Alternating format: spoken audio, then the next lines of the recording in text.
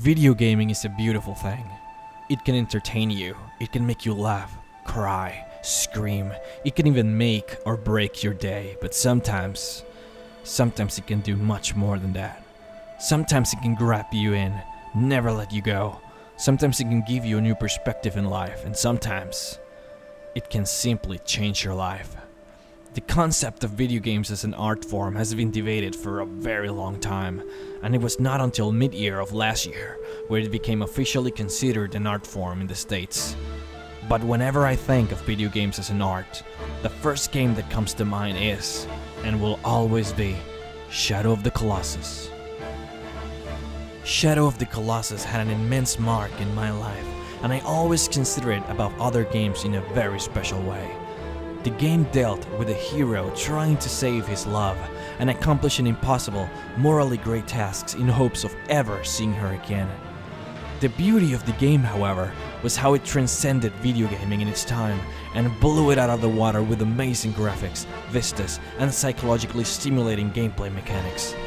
You see, you are alone in this huge forbidden world where no one has ever set foot in for centuries, and your only companion was your horse, because he's the only character that ever helps you in this bizarre, cruel world.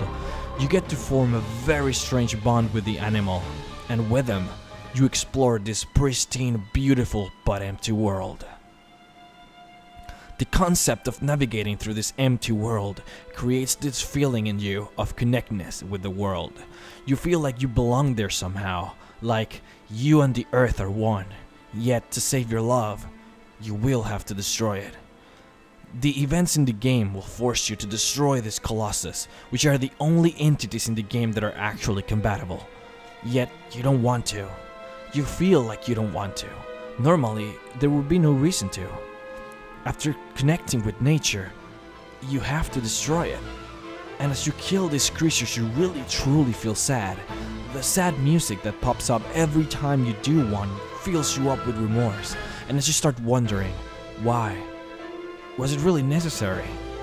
They didn't do anything. They are the guardians of this world, of this beautiful, empty world, and yet, I have to kill them to get what I want, to save the one I love.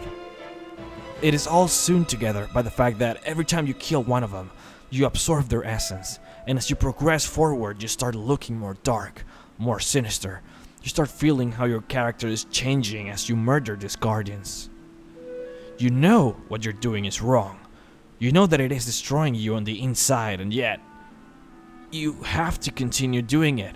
The game is forcing you, there's nothing you can do. You have to save her. The game ties everything up with an amazing finale, beautifully orchestrated and incredibly sad. I wouldn't even dare spoiling some of the amazing sad ending scenes in the game, in hopes that some of you go and try the game out if you haven't already. To play this game to its full potential, you have to believe. You have to get into it. You can't simply play this game with the mindset of completing it or finishing it. It is simply not the way. You have to believe in the world. You have to dedicate it love, and in return, you will get one of the most amazing and life-changing experiences in video gaming that you will ever have. Sometimes, a video game can drag you in and never let you go.